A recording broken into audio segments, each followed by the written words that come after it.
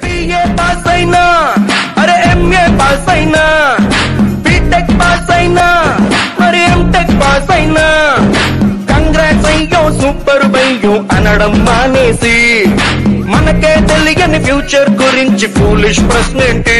Next ఏంటి? అంటూ గోలేంటి